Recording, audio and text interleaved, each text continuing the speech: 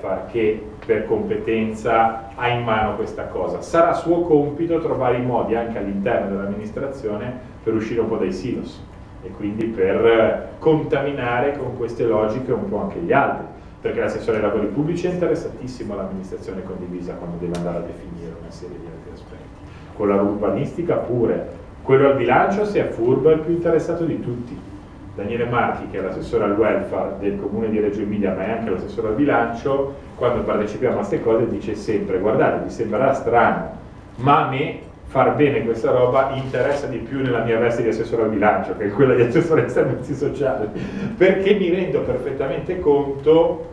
che se facciamo bene questo tipo di lavoro, quei miei soldi lì valgono il triplo, possono valere il triplo di quelli che valgono oggi, come assessore al bilancio quel compito lì. Quindi è un esempio, ma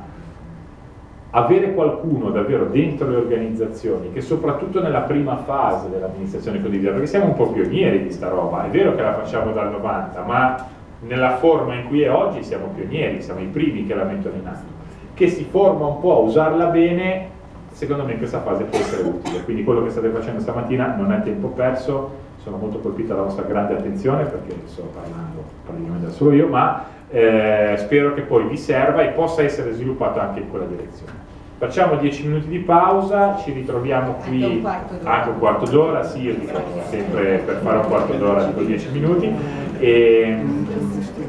ci ritroviamo qui alle 11.45 per eh, la, la, il giro finale dove vedremo nel dettaglio un po' come funzionano le procedure, risponderemo alle questioni parlandone e ci sarà un ultimo giro di confronto. Grazie.